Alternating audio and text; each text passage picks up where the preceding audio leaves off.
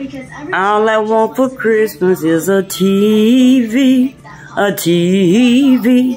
All I want for Christmas is a TV, a TV. Hit me up at 773 606 7477. 773 606 7477. All I need is a 55 inch, a 55 inch, a 55 inch. And don't no rich celebrity give no fuck, give no fuck, give no fuck. Don't no rich person give a fuck. They want your money to make them richer. All I need for Christmas is a 55 inch 55 inch.